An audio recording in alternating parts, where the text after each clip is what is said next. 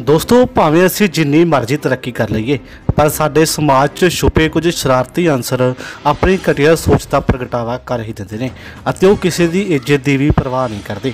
ਅਜਿਹਾ ਹੀ ਮਾਮਲਾ ਗੜਸ਼ੰਕਰ ਤੋਂ ਸਾਹਮਣੇ ਆਇਆ ਹੈ। ਜਿੱਥੇ ਪਿੰਡ ਮੋਰਾਵਾਲੇ ਤੋਂ ਇੱਕ ਵਿਅਕਤੀ ਵੱਲੋਂ ਪਿੰਡ ਦੇ ਹੀ ਇੱਕ 15 ਸਾਲ ਦੇ ਬੱਚੇ ਨਾਲ ਕੁਕਰਮ ਕੀਤਾ ਗਿਆ ਹੈ।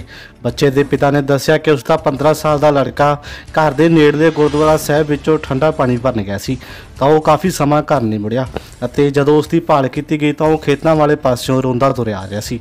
ਜਿਸ ਤੋਂ ਬਾਅਦ ਲੜਕੇ ਨੇ ਦੱਸਿਆ ਕਿ ਉਹਨਾਂ ਦੇ ਗੁਆਂਢ 'ਚ ਰਹਿੰਦੇ ਇੱਕ ਸ਼ਖਸ ਬੁੱਧੂ ਸ਼ਾਹ ਪੁੱਤਰ ਤਰਸੇਮ ਸਿੰਘ ਵੱਲੋਂ ਉਸ ਨਾਲ ਨਸ਼ੇ ਦੀ ਹਾਲਤ ਵਿੱਚ ਉਸ ਨੂੰ ਵਰਗ ਲਾ ਕੇ ਮੋਟਰ ਤੇ ਲਿਜਾ ਕੇ ਉਸ ਨਾਲ ਗਲਤ ਕੰਮ ਕੀਤਾ ਗਿਆ ਹੈ।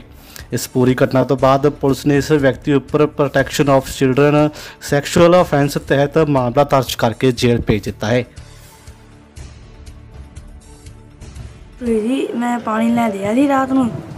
ਤੇ ਮੈਂ ਕੰਨੀ ਮੈਂ ਇਧਰੋਂ ਫੁੱਦੂ ਲੈ ਲਿਆ ਸੀ ਸਾਹਮਣੇ ਮੋਟਰ ਦੇ ਮੈਂ ਚੱਲ, ਉਹ ਪਤਾ ਹੈ ਪੁੱਟੇ ਕਾਂ ਕਰਦਾ ਸੀ ਆ ਸਾਹਮਣੇ। ਫਿਰ ਪਤਾ ਬੋਤ ਇੱਕ ਸੌਂਡਾ ਫੜਿਆ ਸੀ ਆ ਇੱਕ ਦੌੜ ਬੋਤਲ ਫੜੀ ਸੀ।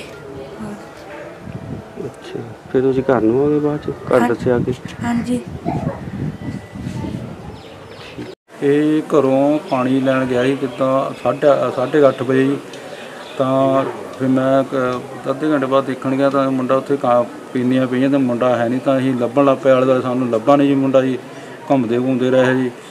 ਤਾਂ ਬਾਅਦ ਚ ਜਦੋਂ ਸਾਨੂੰ 9 9:30 ਵਜੇ ਕਰੀਬ ਜੀ ਇਧਰੋਂ ਤੁਰਿਆ ਆਵੇ ਤਾਂ ਰੋਂਦਾ ਤਾਂ ਮੇਰਾ ਭਰਾ ਜਿਹੜਾ, ਅਹ ਮੁੰਡਾ ਮੇਰਾ ਤਾਂ, ਅਹ ਚੱਕੀ ਆਵੇ, ਕਹਿੰਦੇ ਕੀ ਗੱਲ ਹੋਈ? ਕਹਿੰਦਾ ਵੀ ਇੱਦਾਂ ਇੱਦਾਂ ਹੋਈ ਮੇਰੇ ਨਾਲ। ਤੇ ਬਾਅਦ ਚ ਘਰ ਆ ਕੇ ਫਿਰ ਪੁੱਛਿਆ, ਮੈਂ ਵੀ ਫਿਰ ਸਰਪੰਚ ਕੋਲ ਲੈ ਗਏ ਤਾਂ ਪੁੱਛਿਆ ਵੀ ਇਹ ਕਹਿੰਦੇ ਵੀ ਇੱਦਾਂ ਤਾਂ ਕਹਿੰਦੇ ਵੀ ਤੁਹਾਡਾ ਵੀ ਥਾਣੇ ਰਿਪੋਰਟ ਦੇ ਦਿਓ। ਠੀਕ ਹੈ ਜੀ। ਤਾਂ ਫਿਰ ਅਸੀਂ ਥਾਣੇ ਗਏ ਸੀਗੇ ਵੀ ਉਹ ਕਹਿੰਦੇ ਕੋਈ ਨਹੀਂ ਵੀ ਵੀ ਜਿੱਦਾਂ ਕਾਰਵਾਈ ਇਹਦੀ ਕੀਤੀ ਜਾਵੇ ਜੀ ਮੁੰਡੇ ਨਾਲ, ਬੁੱਧੂ ਸ਼ਾਹ ਜੀ, ਤੇ ਡੈਡੀ ਦੇ ਨਾਲ, ਤਰਸੇਮ ਲਾਲ ਜੀ। ਤਾਂ ਜੀ ਕਰਾ- ਕਾਰਵਾਈ ਕੀਤੀ ਜਾਵੇ। ਠੀਕ